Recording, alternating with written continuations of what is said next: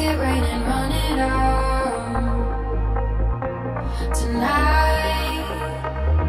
Let's misbehave and risk.